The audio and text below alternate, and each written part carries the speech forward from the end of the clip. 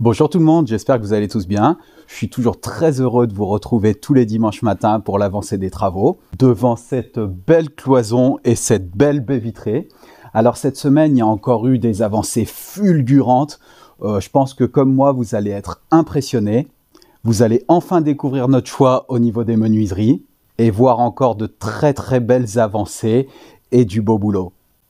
Alors je vous laisse découvrir tout ça en vidéo. Et n'oubliez pas pour ceux qui ne l'ont pas fait, abonnez-vous, activez les notifications pour pas louper la suite du projet. Allez, bon visionnage, profitez bien. Alors, comme d'hab, le lundi, quand je suis arrivé, j'ai vu qu'il y avait des bouts d'anciennes descentes et quand j'ai continué à avancer, j'ai vu qu'ils avaient commencé à mettre tout l'isolant avec la bâche en dessous et tout l'isolant dans le futur studio au rez-de-chaussée. Donc là, sur le côté, ils ont mis de l'isolant qui remonte contre le mur. À cet endroit, ils en ont pas mis parce qu'on va laisser en pierre apparente, donc faut pas qu'il y ait d'isolant qui remonte. Et là, euh, ils mettent de l'isolant contre le mur comme dans l'entrée pour que le plaquiste vienne reprendre son isolant sur cet isolant-là pour pas qu'on ait de pont thermique. Et là, vu que les murs sont pas bien droits, qu'il y a des pierres qui ressortent, ils ont découpé un peu l'isolant pour euh, que ça s'encastre bien dans les pierres et dans les murs pas droits. Donc ils ont fait encore ça super bien. Franchement, c'est top. Pour pas perdre de place et pour s'adapter aux murs pas droits. La laine de verre, c'est différent, ça se comprime, mais là, vu que c'est de l'isolant rigide, ils ont dû découper un peu. Là, on voit le tour euh, des évacs.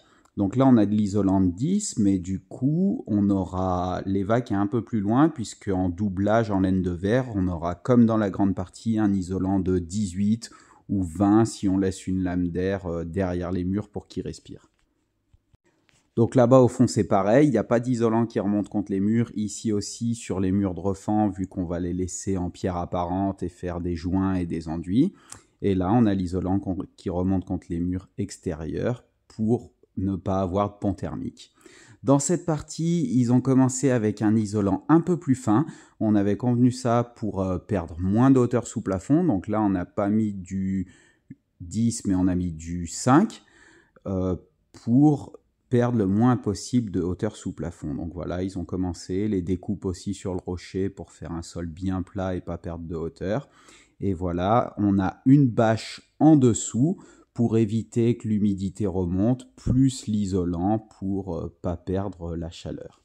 Et alors ici, on se rend bien compte, euh, une fois que la dalle sera coulée, à quelle hauteur on va retrouver le sol. Et quand je suis repassé, j'ai vu qu'ils avaient tout préparé, donc des étais pour bloquer euh, la planche de bois. Ils ont tout ferraillé, et là ce que j'ai trouvé super, ils ont des petits blocs en béton pour que la ferraille ne colle pas l'isolant, pour qu'elle soit bien prise dans le béton, dans la dalle, donc pour surélever un peu la ferraille, c'est top. Donc tout plat, tout ferraillé, tout propre et prêt à couler. On n'a plus que le plombier qui doit passer pour passer toutes ces arrivées d'eau chaude, d'eau froide, euh, d'eau euh, chaude pour, le, pour les radiateurs. Et ensuite, on peut couler. Donc là, on voit aussi notre euh, futur escalier, les deux petites marches, donc les planches qui sont prêtes pour couler l'escalier. Tout est bien ferraillé en dessous aussi. On y voit un peu plus clair avec le flash et dans la partie du haut, ici aussi dans le futur dressing à gauche et dans la partie plus loin, le futur escalier. Là, l'isolant est un peu tombé sur la gauche, mais on le remettra. Il y a eu pas mal de vent qui s'engouffre et qui souffle. Et toute cette partie, donc la future montée d'escalier et salle de bain et buanderie. C'est top, c'est beau. Ça fait euh, un bel appartement, ça va faire un bel appartement au rez-de-chaussée. Vu d'ici, on aura euh, une belle surface quand même. Et ils ont continué aussi la zinguerie, donc ils ont fait cette belle grosse descente qui relie les deux toits là-haut dans un jambon.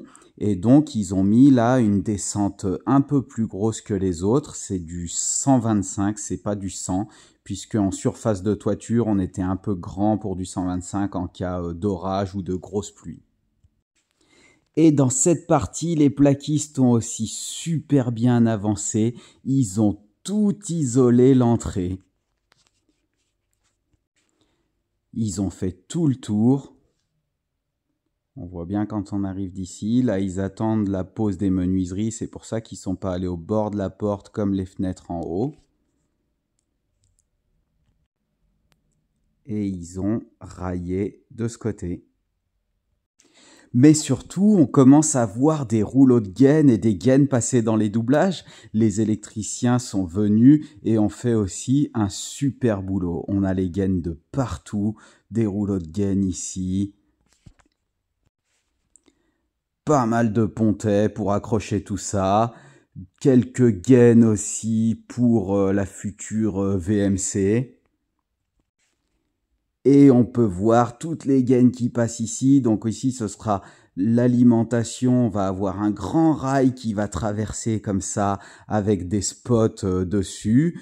Les, toutes les gaines pour passer les prises, les RJ45, euh, des prises en bas, l'alimentation en haut du BSO. Donc voilà, pas mal de gaines et qui vont arriver ici dans le faux plafond au-dessus de la chambre et les plaquistes ont commencé à tracer les cloisons au sol. Donc là, la chambre, la future chambre parentale. Ensuite, ici, là, l'espace où il y aura les dressings. À droite, la salle de bain. Ensuite, à gauche, là, on a la buanderie la future buanderie. Bon, on voit pas très bien, c'est un peu, euh, c'est pas très lumineux les tracés, mais on verra, on y verra plus clair euh, plus tard. Et ensuite, à la fin ici, les futures toilettes. Et là, après, on a notre couloir qui pourra permettre de passer dans la partie 2. Encore des gaines qui passent de ce côté ici, au-dessus de la fenêtre, et qui iront pour alimenter euh, ce côté, les prises et les interrupteurs et qui finiront là-bas au-dessus du faux plafond après le couloir pour faire passer tout le technique et finir dans la buanderie où il y aura le tableau.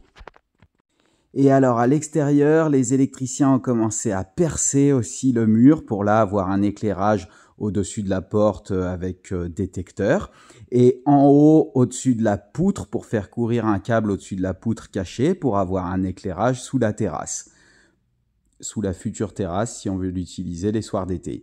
Et ici, on a deux gaines qui sortent parce qu'on a mis une prise euh, et un RJ45 si vraiment on n'a pas de Wi-Fi vu l'épaisseur des murs.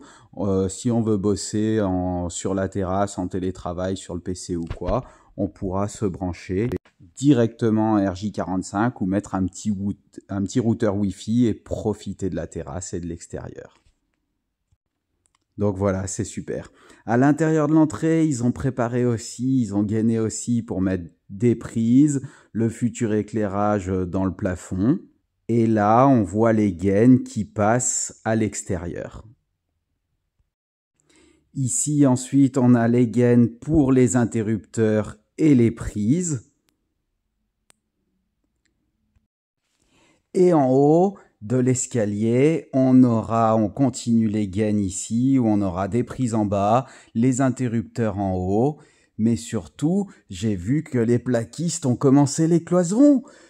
Ils ont super bien avancé aussi, mais on va terminer sur l'électricité. Euh, là-bas, on a l'alimentation pour le BSO Ici en haut, donc on, a la gaine bleue par terre pour une prise de courant qu'ils ont écrit. Ici, on a une gaine euh, qu'on emmènera ensuite jusqu'au portail quand il y aura les tranchées de terrassement pour l'interphone, la sonnette. Dring, quand ça va sonner, on pourra voir ici du portail qui est ce qui est derrière et ouvrir ou pas si on veut. Mais voilà, il y a eu tellement de choses. Les plaquistes aussi ont encore fait un beau travail de cloison. Donc là, ils mettent deux rails euh, pour la rigidité puisque c'est très haut.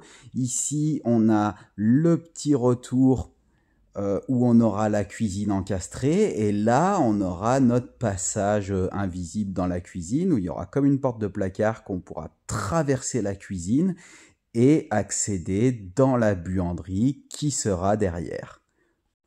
Mais voilà, ils mettent deux rails doublés pour la rigidité de la cloison, vu que c'est une cloison haute. Et voilà, franchement, c'est la folie, ça a tellement avancé. Là encore des prises, encore des gaines pour de l'éclairage en haut. Ici, on a une gaine qui arrive là, où on passera un câble caché derrière le chevron dans l'ombre pour alimenter euh, l'éclairage au-dessus de l'îlot central, puisque là, un peu au-dessous de la ferme, à la place de la laine de verre, on aura l'îlot central avec un éclairage au-dessus. Et les menuisiers ont commencé à passer aussi, ils ont ramené les huisseries intérieures pour que le plaquiste finisse, euh, puisse finir ses cloisons. Donc il a commencé d'ailleurs à les placer. Ici on aura la porte d'entrée de la chambre. Euh, là-bas on a la porte qui va couper entre la partie 1 et 2. Ici. D'ailleurs, instinctivement, je suis passé par notre futur petit passage qui traverse la cuisine et qui va dans la buanderie. Donc c'est plus court et bien accessible et bien pratique. Et euh, les trois dernières huisseries, sûrement euh, trois ou quatre dernières huisseries pour euh, les toilettes, la salle de bain, la buanderie. Et donc pour continuer sur l'électricité, la prise ici, l'alimentation du brise-soleil orientable au-dessus de la fenêtre. Voilà pourquoi les gaines sont coupées. Ici, on a l'alimentation euh, de notre grand rail qui fera tout l'éclairage plafonnier avec des spots. Donc vu sous cet angle, il va traverser la ferme ici euh, et arriver vers cette poutre-là euh, dans cette ferme. Donc on l'a désaxé un peu. ici, il est désaxé parce qu'en fait, ici, on aura l'îlot central en face de la niche de la cuisine avec les suspensions qui vont descendre au-dessus de l'îlot central. Donc là, il est à peu près centré il sera à peu près centré, mais ici il sera désaxé, mais de toute façon c'est pas très grave parce que rien n'est droit. Ici, on a euh, des prises qui vont arriver et aussi du RJ45 pour tout ce qui est euh, système IFI. Donc voilà, télé, connecter la télé et puis voilà, tout ce qui est enceinte connectée. Et là, notre futur petit passage. Donc voilà encore le beau travail de découpe et, du et de cloison euh, des plaquistes. Et quand on arrivera comme ça, on aura notre futur passage qui va être un beau passage très haut puisqu'on va laisser sous rampant avec la charpente apparente. Ici pour accéder à la partie 2 et pour accéder à notre partie là où on aura euh, sur la droite les placards euh, dressing qui vont aller jusque, qui vont commencer ici et aller jusqu'à la chambre. Ici, euh, nos toilettes. On voit un peu mieux euh, les tracés sur le sol. Il y a un peu plus de lumière. La buanderie avec euh, à l'intérieur des petites étagères de 30 cm sur la gauche pour poser les produits. C'est un peu dur de se projeter, mais on y verra plus clair quand il y aura toutes les cloisons. Et ici, euh, tout ce qui est machine à laver, sèche-linge, congélateur, euh, si on veut mettre un grand congèle euh, dans la buanderie. Ici, ensuite, on aura toujours notre couloir avec dressing sur la gauche, dressing ici un peu aussi, la salle de bain et pour finir, la chambre. La chambre avec la fenêtre sur la rue où on aura en face, où l'électricien les électriciens ont continué à passer des gaines, on aura les lumières, les appliques euh, liseuses de chaque côté du lit, avec les interrupteurs en dessous de chaque côté du lit, et les prises en bas de chaque côté du lit aussi. Et ici, on a toutes les gaines en attente qui arrivent là, qui sont posées là pour l'instant, puisqu'ensuite, ici, on aura un faux plafond à 2,50 m de haut, où on pourra passer toutes les gaines. C'est pareil, c'est pour ça que ces gaines arrivent ici après le faux plafond en attente, et elles vont redescendre, on aura un peu notre espace technique, elles vont redescendre ici dans la buanderie, et on aura un petit tableau électrique dans la buanderie. Donc là au-dessus, ce sera un peu un espace technique où on va faire une trappe d'accès avec euh, le groupe VMC et tout ce qui est euh, gaine de VMC, gaine de hotte euh, derrière la cuisine avec tout ce qui va sortir vers l'extérieur. Et ensuite, fin de semaine, il y a eu tellement de choses qui se sont passés. J'ai pas pu passer euh, filmer pendant 2-3 jours, donc là ça va être une grosse avancée. Il y a beaucoup de choses qui se sont passées. Alors déjà les menuisiers sont passés poser quelques huisseries extérieures, donc ça y est, vous découvrez enfin notre choix. Euh, donc voilà, on a choisi du bois brut en fait avec un vernis incolore. Bon, bien sûr, la porte en MDF, c'est une porte provisoire. Elle sera en pain comme euh, les châssis fixes. Et euh, le petit châssis fixe vitré sur le côté, je trouve ça euh, très beau. Et en plus, vous verrez par la suite, ça emmène un peu de lumière dans l'entrée, c'est top. Donc là, on peut...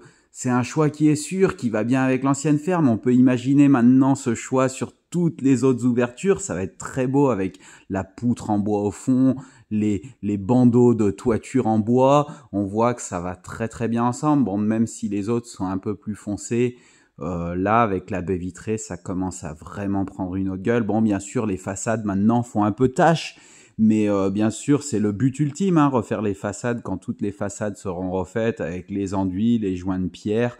Ce sera le final et ce sera euh, très beau. Et donc là, je suis allé vous montrer de l'extérieur, alors avec la belle baie vitrée côté route aussi, en bois brut, qui va très très bien avec le bandeau.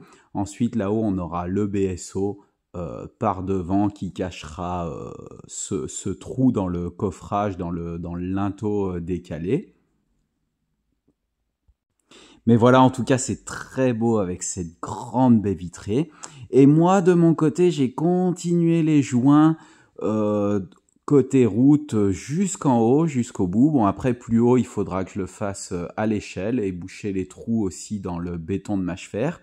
Et voilà la fenêtre de la chambre aussi, vue de l'extérieur, avec euh, l'entrée d'air frais au-dessus pour emmener de l'air frais pour la VMC, vu qu'on a mis une simple flux.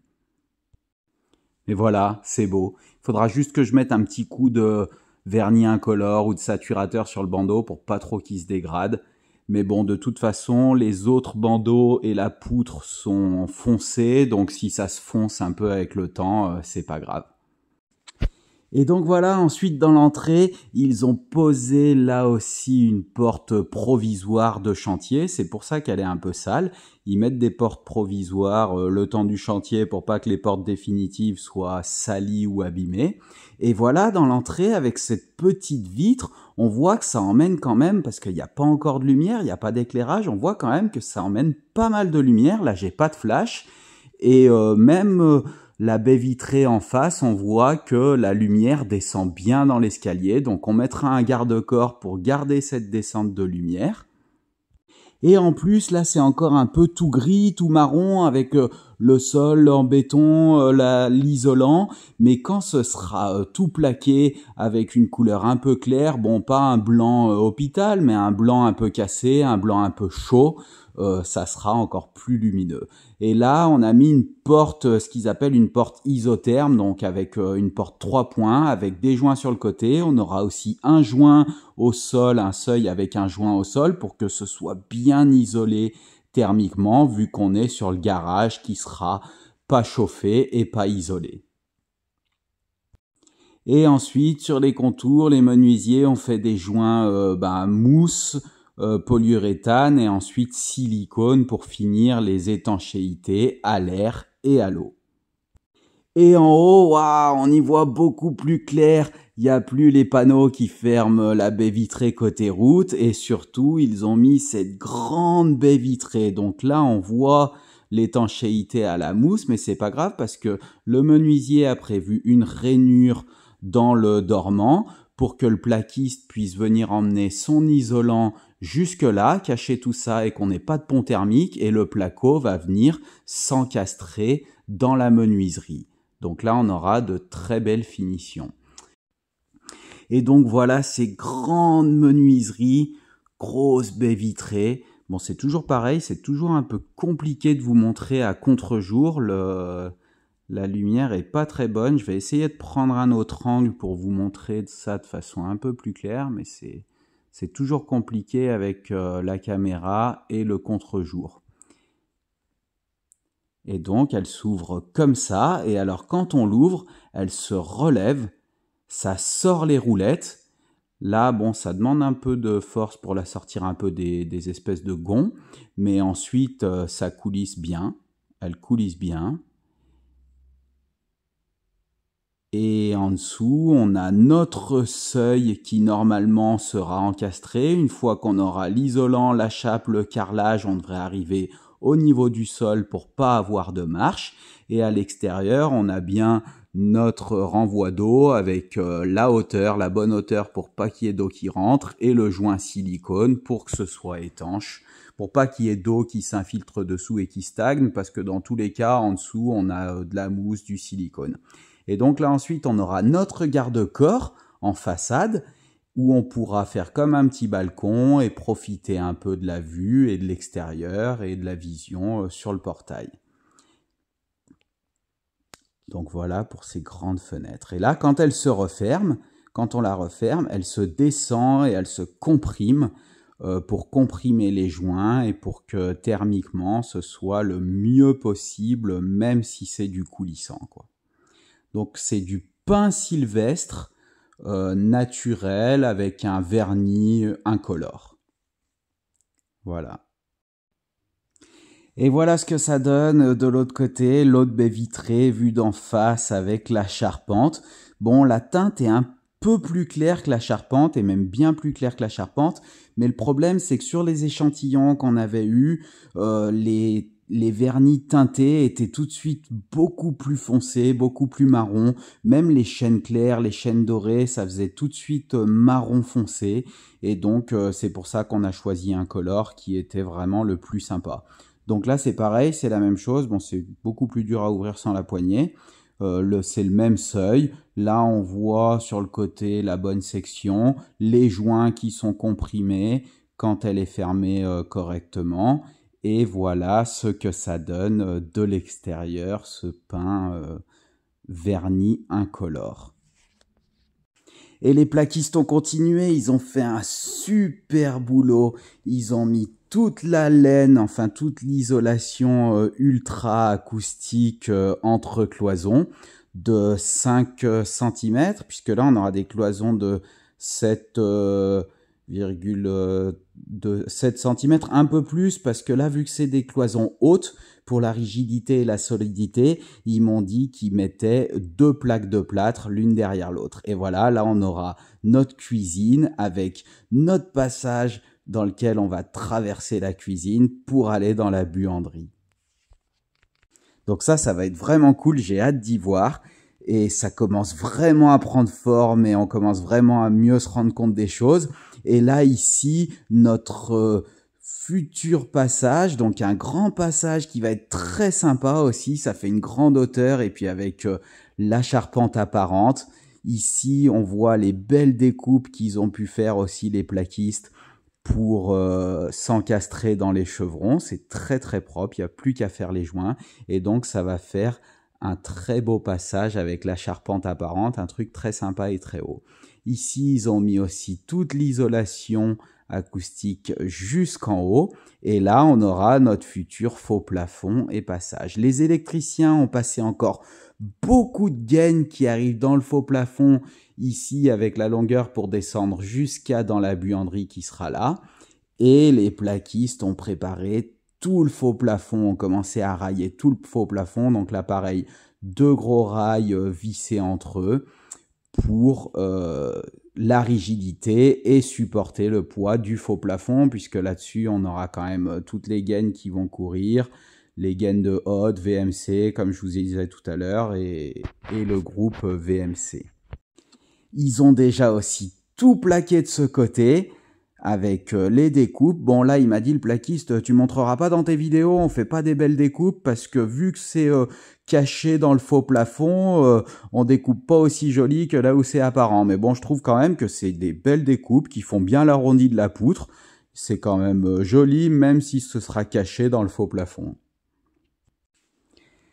Et là, les menuisiers ont mis une porte provisoire, donc pour euh, couper un peu le vent, parce que là, on a un espèce de vent froid du nord en ce moment et qui fait très froid, et aussi pour sécuriser un peu le chantier. Je vais aller vous montrer euh, les électriciens qui ont passé toutes ces grosses gaines dans les doublages. Ici, ils les ont fait courir sous le rampant parce que les rampants vont être doublés et isolés dans la partie 2. Et donc, on a pas mal de gaines parce que là, on aura une RJ45 qui est qui, a qui traverse le mur et qui va arriver dans le bureau derrière pour euh, pareil, avoir du réseau internet, puisque la Wi-Fi, ça va être très compliqué avec les murs épais dans cette maison.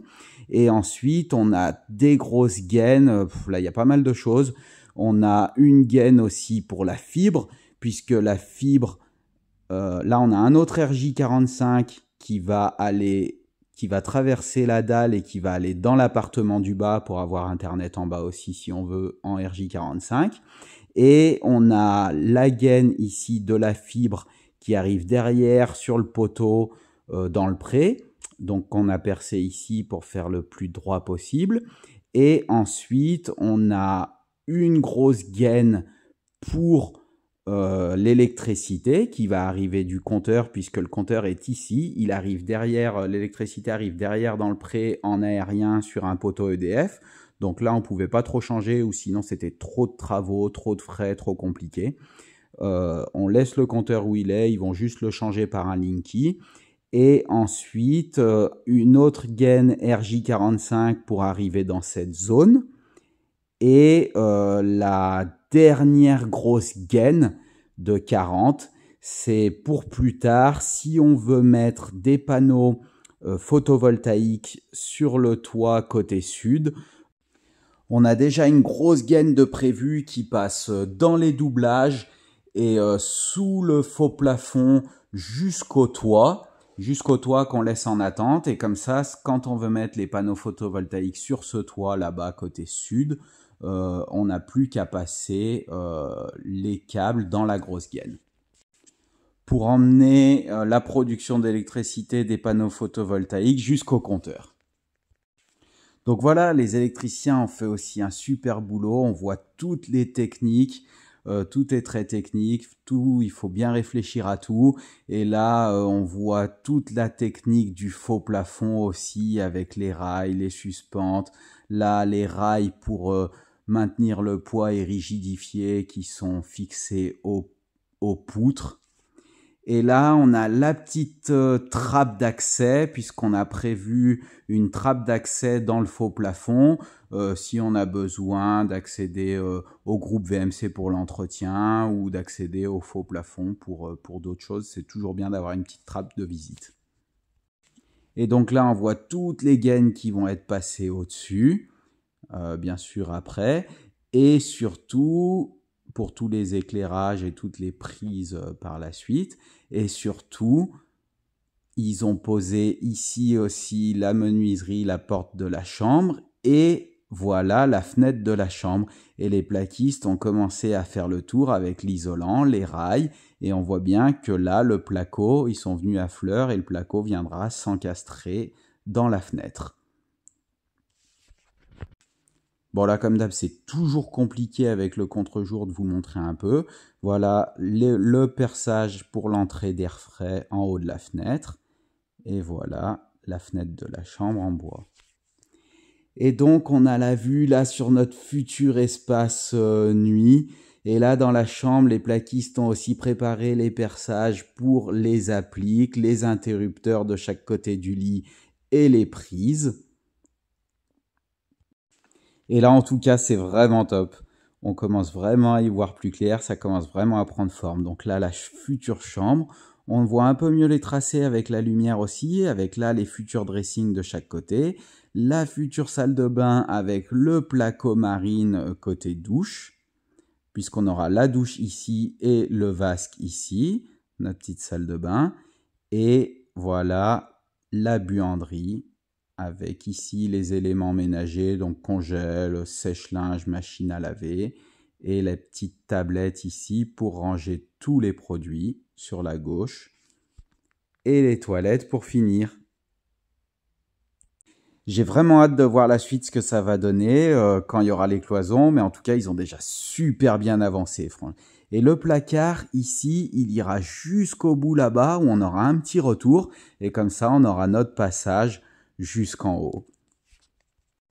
Ça va être top. bravo aux artisans, encore une fois, bravo à l'archi aussi, pour ses idées, pour les plans, pour son travail aussi. Et donc voilà, là, la sortie de la chambre, on sortira par là, on aura la cuisine sur notre gauche, ici on aura un petit retour comme là-bas. Et voilà euh, la vue sur la grande pièce de vie, les menuiseries, la charpente. La charpente qui est un peu plus foncée que les menuiseries, mais bon, euh, quand ce sera euh, tout clair, tout blanc, et plus aussi marron, que la lumière sera renvoyée contre les murs, le sol, je pense que la charpente sera, fera plus clair aussi. Là, c'est un peu sombre avec le marron et le gris. Et euh, voilà, je peux vous remontrer encore un peu la vue avec les vitres, parce qu'avec les fenêtres et les vitres, ça prend encore une autre dimension. Même en vidéo, là, on se rend bien compte que ça y est, on commence à être euh, hors d'air. Voilà, j'espère que cette vidéo vous a plu. Comme d'hab, dites-moi ce que vous en pensez en commentaire, donnez-moi vos avis, ça fait toujours plaisir. Et à la semaine prochaine pour la suite des travaux. Salut, prenez soin de vous.